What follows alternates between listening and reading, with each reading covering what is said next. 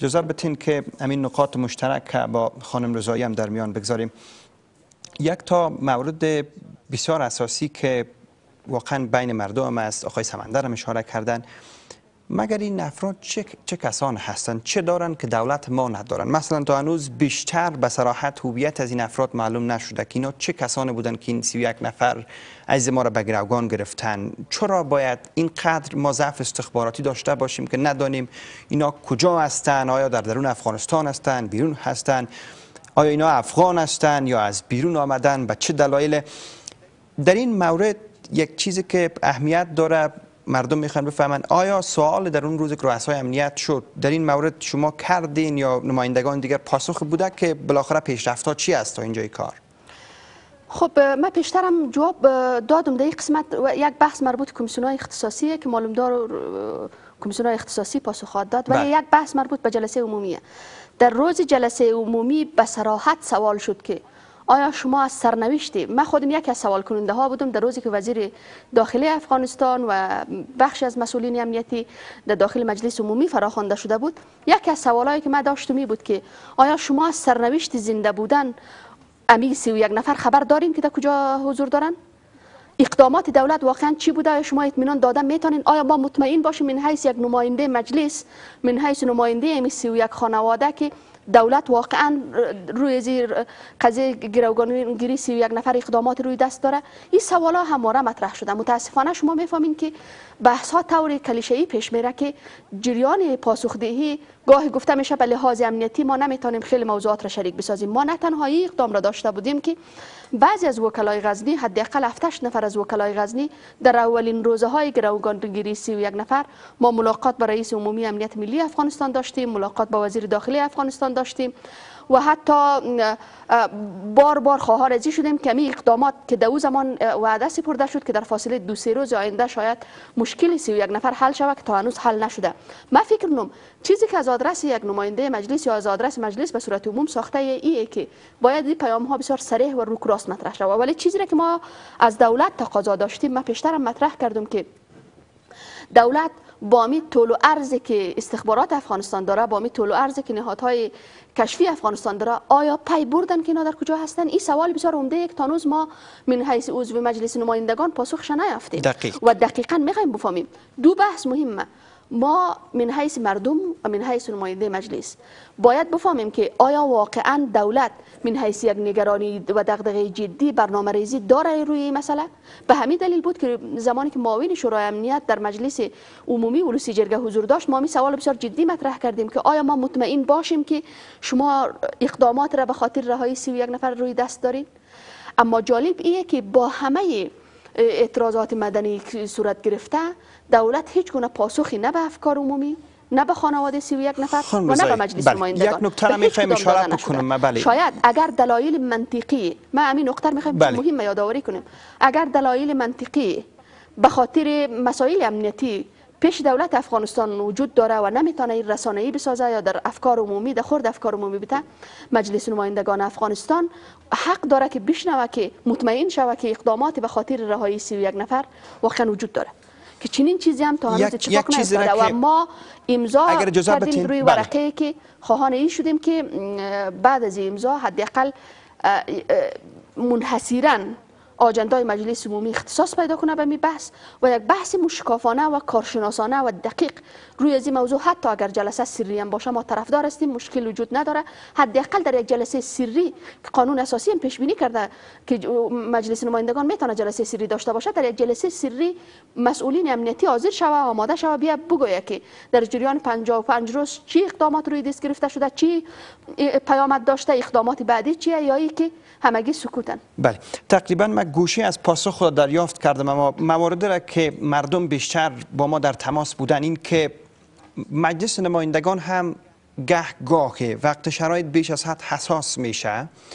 ادیه در همان روز با احساسات بسیار بلند از وطن از هموطن از همه کس دفاع می کنند ولی چند روز پس وقت قضیه کم کم رنگ میبازد دیگر این بحث فراموش میشه. سوال این گونه می‌خوایم بکنم.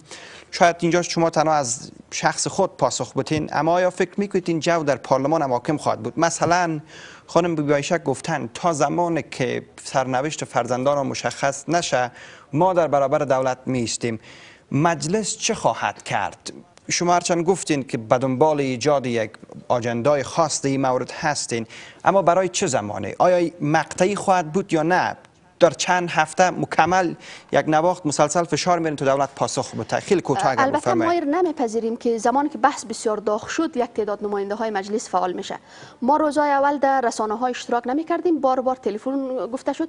بنا به که ممکنه یک معلومات باعث ازی شود که جان سی یک نفر به خطر بیفته و این احتیاط لازم را به خاطر خاص جان سی یک نفر انجام می‌دادیم. و ما مطمئن به این بودیم که حداقل ممکنه در دو سه روز آینده با می تلاشایی که ما میریم ریاست عمومی امنیت ملی رو می‌بینیم وزارت داخلی افغانستان رو می‌بینیم مقامات امنیتی رو می‌بینیم مشکل حل خواهد شد. وقتی ما مثلا در فضای مجازی چیزی ننوشتیم وقتی ما در رسانه حاضر نشدیم این به مفهومی نیست که وکلای افغانستان به تفاوت بوده در قبال قضیه. پیش از اینکه نهادهای جامعه مدنی صدا بلند کنه. حتی پیش از اینکه خانواده ها به کابل تشریف بیارن ما یادآوری کردم که در اولین روزها ما جمع از نماینده ها رفتیم رئیس عمومی امنیت ملی افغانستان رو بسیار جدی گپ زدیم. با وزیر داخلی افغانستان ملاقات داشتیم بدون حیاهوی که در بیرون داده شود. من حیث نماینده و من حیث مسئول وظیفه خود دانستیم. بریم و مسئولین رو بشنویم. ولی بعد از گذشت 55 روز ما دیدیم که پاسخ روشنی از آدرس حکومت وجود نداره. راه حل بعدیه که عمومی ساخته شود و با افکار عمومی گپ زده سپاسگزار آقای سادتی شاید سال آخرین بحث باشد اما اون را به گونه جنبندی می‌کنیم. اگر این تسلسل روزها ادامه پیدا کند 55 60 و 70 80 روز شود ولی هنوز خبر از این عزیزان ما نشود. شما چگونه چشم اندازه برهون رو ترسیم می‌کنین؟ جامعه مدنی چی خواهد کرد؟ مردم چی خواهد کرد؟ پارلمان افغانستان چی خواهد کرد؟ بیشترم امین قسمت بی پاسخ ماند. آیا این به فرهنگ تبدیل نخواهد شد که هیچ گونه مجازات حالا برای کسان گروگان گرفتن وجود نداشته باشه؟ فردا رو چطور می‌بینین شما؟ دقیقا ما خواهیم یک نکته دیگر هم توضیح بتومی که بحث داعش ما منکر داعش نیستیم. داعش خطر بزرگ هست در افغانستان و این را می‌فهمیم که بعدا اینا به چنگال داعش یا حداقل خارجی ها داده شده. بله. و در این اواخر هم در نزد از اونها نگهداری میشه. اون اشاره قبلی خود می‌خوایم تصریح بکنم.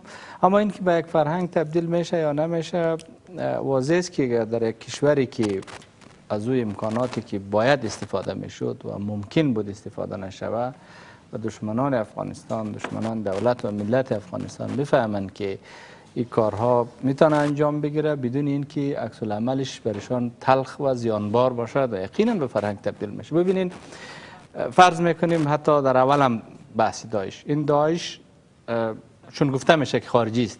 این داعش نه از آسمان فرو افتاده نه از زمین رویده این داعش در یک نقطه است پناهگاه دارد در یک محله است در یک منطقه است. شب جای دارد حامی دارد.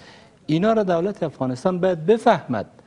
باید به مردم هم آگاهی بده. باید اقدامات لازم هم صورت بگیره که کسانی که در آینده به داعش به دشمنان دین افغانستان به دشمنان مردم افغانستان به دشمنان امنیت افغانستان پناهگاه میدن حامی می‌شوند و باعث این میشه که شهروندان افغانستان اسیر شود و خانواده های افغانستان به غم بنشینه. اگر اقدامات صورت نگیره این کشور یک قانون جنگل تبدیل میشه و در قانون جنگل هر چیزی ممکن است. و نگفتین از فردا. بله فردا این روزهای ادامه پیدا ببینید بحث این نیست که ما می‌خوایم این عرض کنم که بحث این نیست که خانواده البته خدا اول روزی را نیاره که ما مایوس شویم از راههای از اونا.